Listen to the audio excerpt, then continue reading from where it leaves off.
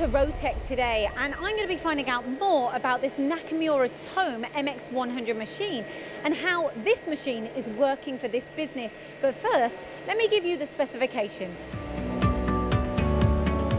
The Nakamura Tome MX100, a multitasking machine.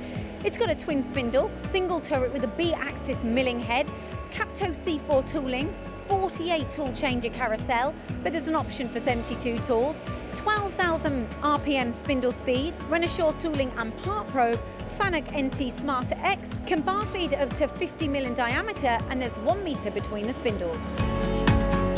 We're going to see inside the machine in just a few moments, but why did you buy this machine? So we bought the, the MX100 because we recognised um, from the sort of very early on that this machine was the sort of next step for us and um, and with the, the in light of the, the current situation that we've just had um, with uh, obviously the, the, what, the, global pandemic, um, the, some of the level of work that we were doing and some of the parts that we were, we were getting, um, we, we quickly identified that this machine was, uh, both because of its flexibility and its functionality, was the, the perfect machine to, to take our, our vision to the next step. Going into the machine, what's the benefits of the B-axis? So having the, the B-axis head, um, again, it, uh, it's something we're used to on the NTRX 300s, and having the, the full five-axis uh, simultaneous capabilities that we can that we can do on this is, um, with the addition of the lower turret, is, um, is just, again, just enhances our, our, our, flexibility and functionality. And you've got through spindle coolant on that Through axis. spindle coolant on that, yeah. And then you've got driven tooling on the turret Driven too. tools on all the stations on the lower turret, yeah. I see you've got the Renishaw probing there. It's not there at the moment, but what are you going to do with this? Yeah, so we decided um, that we were going to retrofit the Renishaw probing system. Um, we've got it on all of our Nakamura NTRX 300s, and um, we decided uh, to, to, to, further standardise the, the bits of kit that we've got. We, we needed to have it on this machine simply. And the turnaround time from order? Because it's an interesting story, this one. Yeah, so um, this machine was probably one of our quickest um, decisions that we've uh, made from a management point of view um, ever. Um, so we, I think we decided we were going to purchase, we recognised we needed to purchase a new machine on the Wednesday. Um, we were very quickly on the phone to, to, the, to the guys at um, to ETG. they told us they had one in stock waiting to go. we managed to get the deal nailed on the Thursday. Um, we started, sort we had the Friday as a day to, to sort of um, work out how we were going to do it logistically with uh, the, the various people we had to put in place, uh, the, the, machine installers, uh, Hydrofeed, um, the ETG engineers, and then the, the installation started on the Saturday, um, and uh, I think the machine was up and running either on the Sunday, meet, Sunday evening or first thing on the Monday morning on some ventilator parts. What a story. That is just mind-blowing really when you think about it.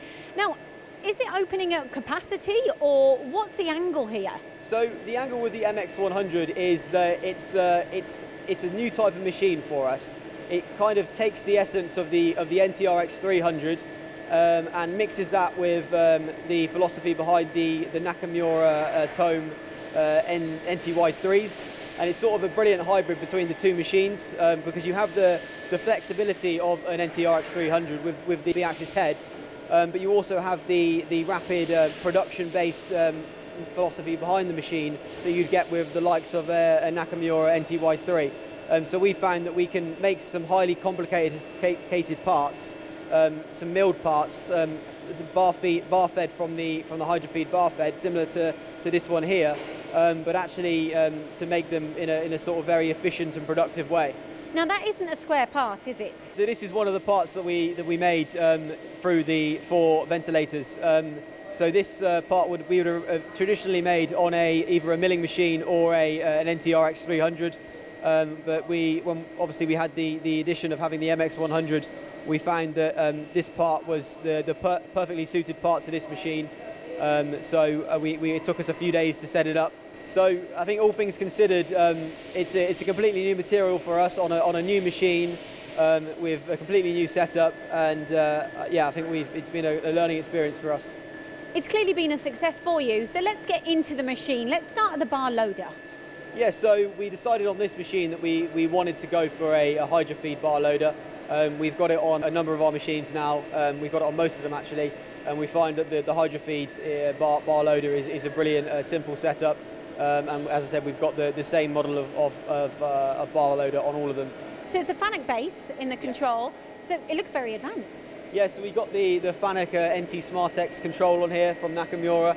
Um, it's a brilliant control. Again, it's something we're, we're really used to now. We've got it on, I think, four or five of our machines. And there's some brilliant uh, conversational programming uh, functionality on there.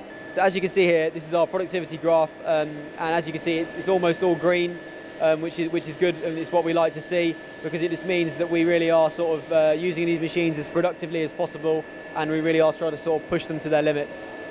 Your vision here is automation. So you've got the parts catcher or parts unloader, is that right? Yeah, so we've got the, the part unloader on the on the sub spindle that can that can unload from the sub. Um, so it all sort of works together as a machining cell. We've got the bar feed on the one side, we've got the the Renishaw probing it on, on in the middle, and uh, and the parts unloader on the other side unloading the parts um, So 24/7. What's your ultimate aim here then at Rotec? The, the ultimate aim at Rotec is to, for, for full automation, uh, lights out machining, and this machine takes that one step further. So it's even got a, a lights out function where I think after five minutes of, of no interaction, all the lights and the screen completely turn off, which just uh, further sort of um, reassures us that it's, it is the right machine for us and it fits perfectly with our philosophy.